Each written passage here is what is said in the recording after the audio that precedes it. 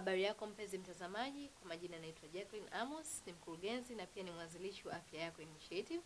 Kama mkurugenzi na mwanzilishi wa Afya Yako Initiative, ambayo ni taasisi inayodili na kutoa elimu ya kiafya kwa jamii, kwa kutambua umuhimu wa siku ya mtoto wa Afrika ambayo ni tarehe 16 Juni hii mwaka 2019, tumeona ni vyema kusherekea siku hii pamoja na watoto yatima waliopo katika kituo cha Hisan kilichopo Mbagala Maji Matitu.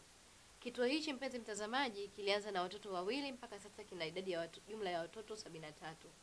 Kulingana na wengi wao, watoto hawa wanapitia changamoto mbalimbali ikiwemo changamoto ya chakula, malazi, mavazi pamoja na mahitaji ya shule na mahitaji mengine madogo madogo. Kwa kutambua umuhimu wa mahitaji haya ya watoto hawa, kama ungependa kushirikiana nasi kwa lolote au chochote, wasiliana nasi kupitia namba zinazopita hapo chini ambazo ni 0743 98 34 02 au 0785 93 38 80. Asante.